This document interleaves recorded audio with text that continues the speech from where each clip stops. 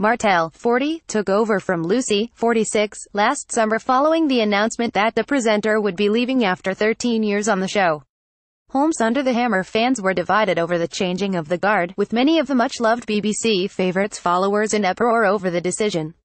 At the time, Lucy broke her silence on her departure from Homes Under the Hammer, tweeting, It's with a huge heavy heart I'm stepping down. It's not the outcome I wanted but to pursue other work at commercial deals I had to leave. Sick the estimated average of 1.1 million Homes Under the Hammer viewers quickly warmed to Martel when she stepped into the role, and now the presenter has revealed what it was really like to have to fill the shoes of such a beloved show stalwart.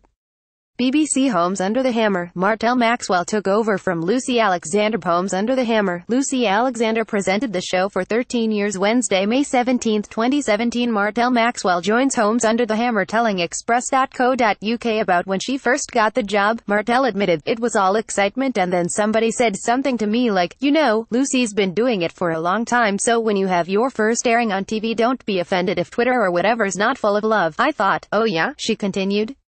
It hadn't really crossed my mind, which is really a bit silly. Martel confessed that she was grateful for the warning about fans' social media reaction to her stepping in.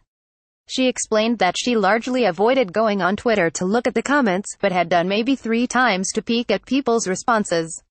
BBC Homes Under the Hammer, Martel Maxwell opened up about filling Lucy Alexander's shoes. There were a couple of comments but it was more like I thought they were funny. The Scottish star said, they were like, who the F asterisk asterisk asterisk is this girl and where's Lucy? But generally it was like, does anyone expect this girl to show round Balamory? She laughed. I thought that was really funny. Somebody else said, this girl talks too much and it doesn't offend me.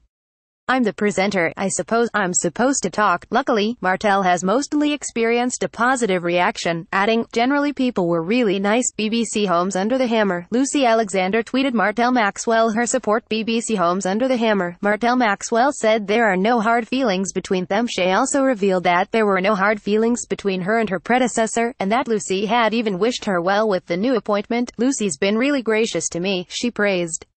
She tweeted, on the day I was on, maybe Shed had some tweets saying, where are you Lucish tweeted and said, the best job in the world, have a great time.